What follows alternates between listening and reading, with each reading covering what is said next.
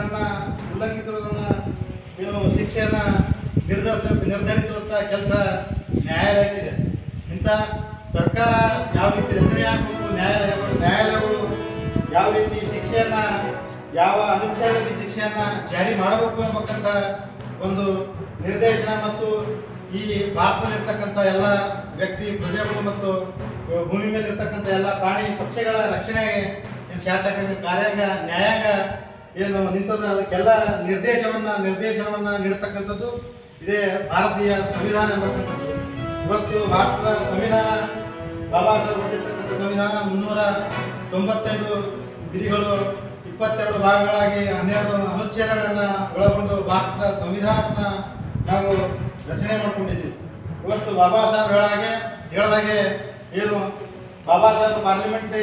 ಹೋಗಿ ಭಾರತದ ಸಂವಿಧಾನವನ್ನ ಅರ್ಪಿಸಿ ಅವರ ಬರ್ತಕ್ಕಂಥ ಸಂದರ್ಭದಲ್ಲಿ ಇರ್ತಕ್ಕಂಥ ಪತ್ರಕರ್ತರು ಬಾಬಾ ಸಾಹೇಬ್ ಪ್ರಶ್ನೆಯನ್ನು ಮಾಡ್ತಾರೆ? ಆ ಬಾಬಾ ಸಾಹೇಬ್ ಪ್ರಶ್ನೆಯನ್ನ ಏನಕ್ಕೆ ಮಾಡ್ತಾರೆ ಅಂತ ನೀವು ಬರೆದಿರ್ತಕ್ಕಂಥ ಸಂವಿಧಾನ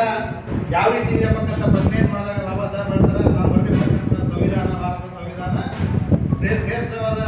ಸಂವಿಧಾನವನ್ನು ಬರೆದು ನಮ್ಮ ಭಾರತಕ್ಕೆ ಅರ್ಪಿಸಿದ್ದೀನಿ ನಾನು ಎಲ್ಲರಿಗೂ